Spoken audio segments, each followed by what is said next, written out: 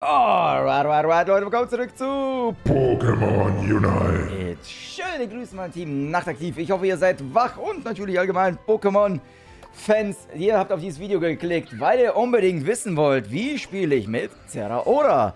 Aktuell ein sehr, sehr, sehr beliebtes, äh, beliebtes Pokémon und in meinen Augen wahrscheinlich das beliebteste überhaupt in Pokémon Unite. Stand aktuell. Aus ein paar diversen Gründen, auf denen ich dann natürlich nachher noch eingehe. Es ist natürlich mega, mega mächtig und man wird auch teilweise selbst in den Matches komplett von dem auseinandergepflückt. Ne? Und wenn der Gegner mich damit auseinanderpflückt, dann spiele ich den auch, um andere auseinanderzupflücken. Ne?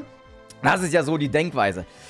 Difficulty Expert, also schwierig zu spielen und muss ich auch recht geben. Man kann, der ist nicht der leichteste, man muss schon gut darauf achten. Nahkämpfer und Speedster. Speedster heißt, er ist auf Mobility ausgelegt und deswegen hat er auch 4 Sterne auf Mobility und fast 3,5 Sterne bei der Offensive, aber dafür ist super, super weich. 1,5 Sterne ist genauso weich wie Pikachu. Tatsächlich macht Pika hat Pikachu mehr Sterne bei der Offensive, was aber nicht ganz so stimmt in meinen Augen, ne?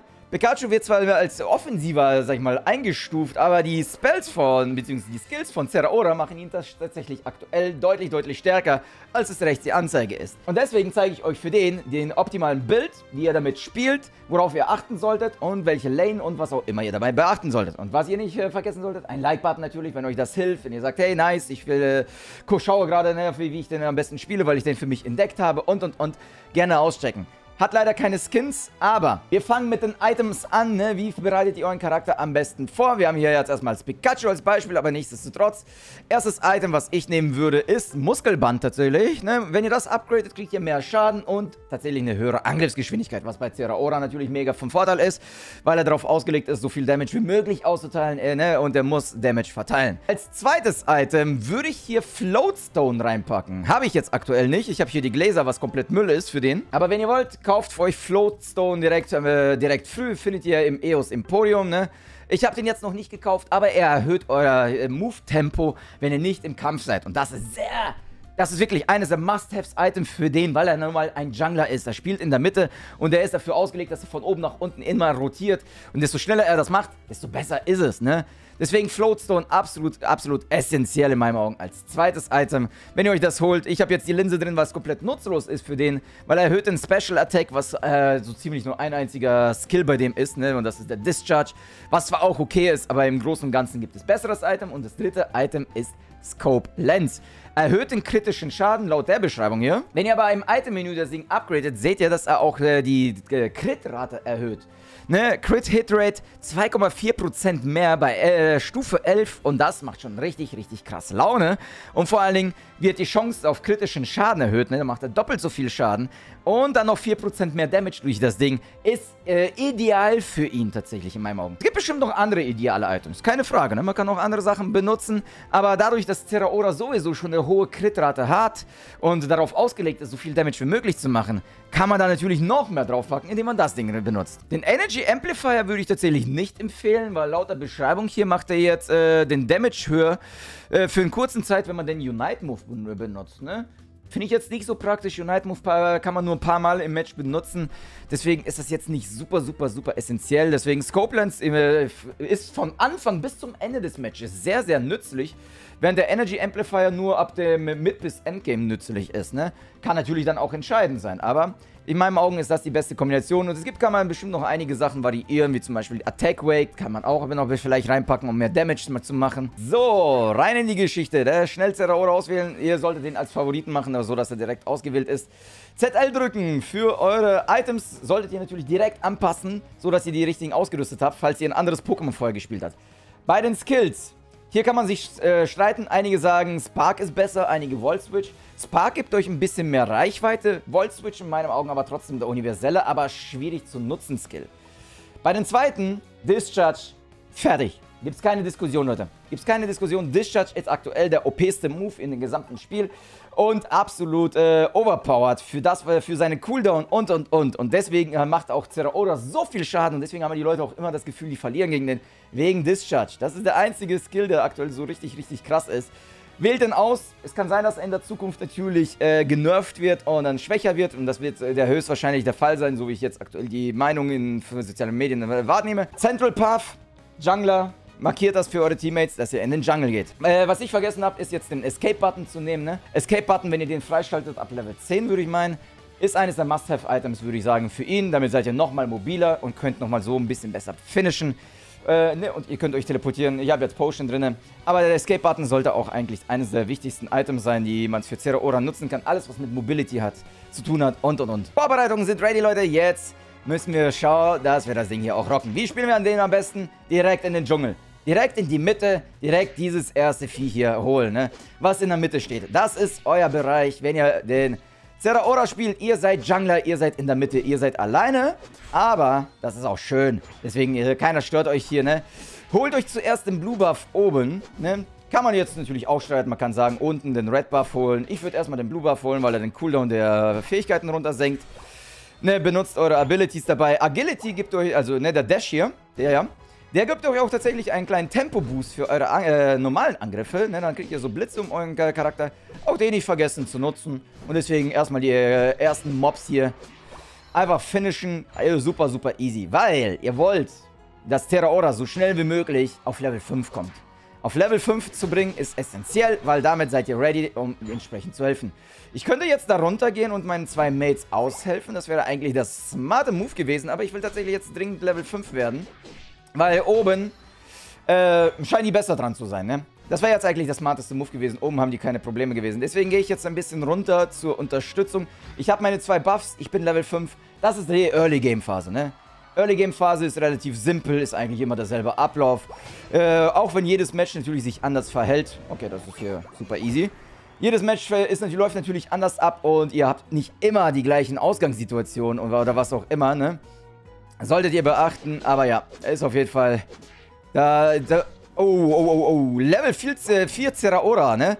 Das ist der übliche Ablauf. Ihr werdet wahrscheinlich im Jungle auch einen Zeraora finden. Der hat mich jetzt ein bisschen überrascht, deswegen bin ich äh, HP-technisch im Nachteil gewesen. Ich bin geflüchtet.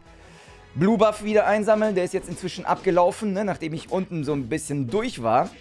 Äh, weitere mögliche Gegner, die ihr in der Mitte finden werdet, ist Absol. Absol ist auch äh, ne, Jungler Deluxe, das ist sozusagen euer größter Konkurrent hier. Und natürlich andere Zeraoras. Red Buff ist auch abgelaufen. Holen wir uns erstmal hier rein. Zack, zack, zack. Volt Switch habe ich jetzt erstmal aktiviert. Ne? Volt Switch ist wirklich ein sehr, sehr, sehr schwieriger Skin, äh, Skin Skill, finde ich. Ne, äh, es kann einen vorwärts teleportieren. Ihr könnt Damage machen. Und ihr könnt wieder zurückgehen, indem ihr wieder die gleiche Taste drückt für ungefähr 3 Sekunden. Plus, minus, ne? Für 30 Sekunden könnt ihr euch wieder zurück teleportieren. Und das können, kann euch ein paar richtig, richtig krasse Moves ermöglichen. Haben wir, haben wir, haben wir. Marschok, kommst nicht weg. Ja, haben wir, komm, komm, haben wir. Geil. Ne, euer Vorteil ist natürlich der Level-Vorteil, Leute. Äh, deswegen seid ihr im Jungle, versucht euch einen krassen Level-Vorteil zu holen. Da habt ihr den Volt-Switch gesehen, ne? Kurz die Frucht geholt, wieder zurückgehen. Keine, kein Risiko. Und hier ist der Discharge. Schaut euch diesen Discharge an, Leute. So, ich bin Level 8. Ich bin absolut im Level-Vorteil, ne, was diesen Typen hier angeht. Komplette Zerstörung. Und das ist auch der nächste Tipp, Leute. Schaut auf den Level. Ne, Zeraora kann mächtig sein und das, ihr habt immer das Gefühl, dass Zeraora super, super OP ist. Der Grund dafür ist aber wahrscheinlich der Level-Vorteil. Zeraora schafft es äh, schneller im Level-Vorteil zu kommen, weil er im Jungle ist. Und wenn der dann zwei bis drei Level über eurem Level ist, wenn der Gegner jetzt den spielt, dann ist es klar, dass er euch zerpflückt. Dann hat er natürlich so einen krassen, insane Level-Vorteil, dass ihr dagegen nichts anrichten könnt. Und das gleiche gilt auch für euch. Wenn ihr im Level-Vorteil seid, geht die kaputt machen. Kloppt die Gegner kaputt. Ich hätte hier früher danken sollen. Kloppt die Gegner kaputt, wenn ihr im Level-Vorteil seid. Und dann könnt ihr euch auch äh, in größere Gegnergruppen schmeißen. So, ich gehe jetzt nach oben. Aus dem Grund, weil ich sehe, dass da oben links äh, gerade gestruggelt wird. Und zwei Leute gerade, beziehungsweise zwei ein bisschen weiter vorpushen. Das Pikachu ist ein bisschen viel zu weit. Aber Nichtsdestotrotz, ich hole hier noch... Ja, Level 10 ist drinne. Unite Move schaltet ab Level 10 frei. Und jetzt kann ich hier oben irgendwie vielleicht abfangen. Oh ja, genau. Sehr schön.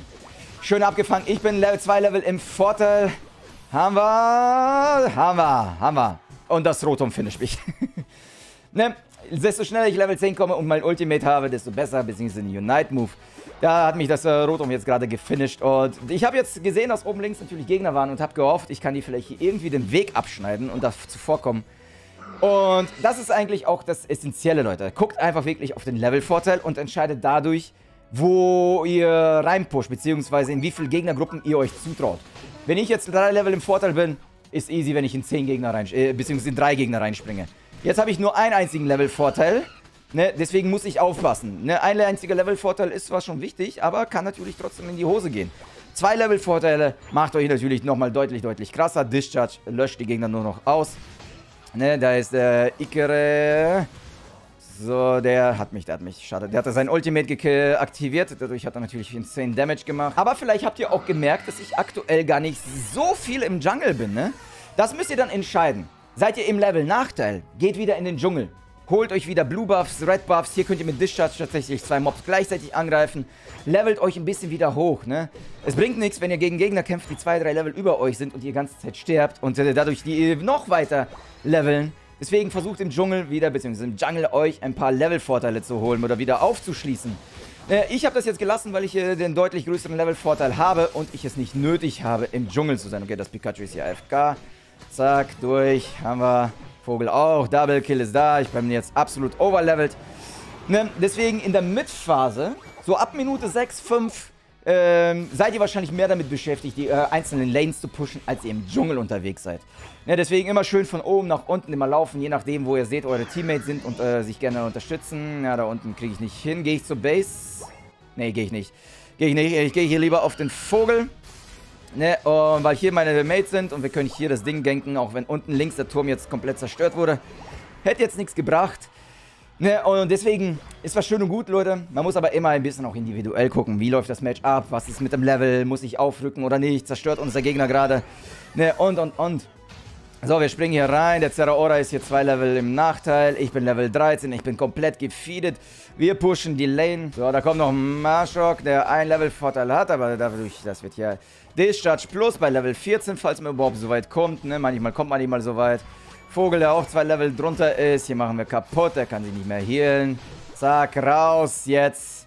Jetzt bin ich die absolute Zerstörungswaffe, die wir auch sein sollen, ne, Leute? So, hier kann ich rein danken. Zack. Okay. Ja, meine Teammates, flüchtet ruhig. Flüchtet ruhig. Schade. Hätte ich fast gefinisht, ne? Flüchtet ruhig, Teammates. Aber jetzt bin ich genau das, was ich wollte, Leute. Und zwar absolut overpowered.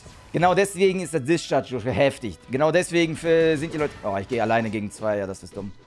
Das ist dumm. Okay, ich flüchte. Ne, zack, raus. Benutze meine Potion, die ich viel zu selten benutze. Gehe zurück in die Base, um oben links zu helfen. Ne, und auch so langsam das Timing anpassen, was Zapdos angeht. Ne, ich habe jetzt fast meine Ultimate ready. Ich habe die vorhin gewastet. Äh, deswegen bin ich nicht ganz ready. Deswegen hätte man von der Zeit her vielleicht ein bisschen besser anpassen sollen, weil Ulti sollte man immer ready haben, wenn Zapdos ankommt. Ne, jetzt ist es ein bisschen zu spät dafür. Nicht schlimm. Ich bin trotzdem Level 14. Finish hier noch ein bisschen, um mich auf Level 15 so langsam zu kriegen. Dann haben wir eigentlich das Ding durch. Guck mal, ich kann Zapdos für mit Discharge, wie viel absolut Damage ich gebe, ne? Und die Crit-Chancen und, und, und. Alles ist absolut verrückt mit äh, Zeraora. Und deswegen ist das aktuell wahrscheinlich auch das absolut, äh, wo die Leute das Gefühl haben, das ist das OPste überhaupt. Guck mal, wie das Ding löscht. Habt ihr gesehen, wie das Discharge einfach den Gegner gelöscht hat? Absolute Vernichtungswaffe. Und genau deswegen, ne, könnt aber auch genauso gut auf gegnerische Zeraoras aufpassen. Ist ja nicht nur ein Guide, wie man den selber spielt, sondern wie man dagegen den ein bisschen aufpasst. So, Zack, der setzt Ulti ein. Ja gut, der hat geultet, deswegen hat er mich vernichtet. Kann ich nichts machen. So, hier können wir reinhauen. Und, ah, der ultet auch. Und ist aus meiner Ult raus. Ja, einen haben wir, einen haben wir, aber der zweite hat uns. Schade. Ja, da ist das Match auch schon durch. Ne, easy Game. Die Gegner waren nicht die krassesten, die schlechtesten waren es definitiv nicht. Ne, aber wenn ihr das beachtet, solltet ihr mit Zeraora mit den Items auf jeden Fall die Gegner immer über, sag ich mal, richtig, richtig hart zusetzen können. Jedes Match ist ein bisschen individuell, aber das sind die Basics. Das sind die Basics, ne, die Feinarbeit müsst ihr dann 16 Kills, guckt euch das an, Leute. 16 Kills, MVP mit Zeraora, mit dem Bild. Da kriegt ihr auf jeden Fall die Gegner easy durch und macht auf jeden Fall Spaß zu spielen. Achtet nur darauf, dass ihr wirklich im Jungle seid. Level-Vorteile beachten, diesen killen, die Items, die ihr benutzen könnt. Ich hoffe, es hat euch geholfen. Ein Like-Button natürlich, würde mich mega freuen. Und gib her Flosse. Flop.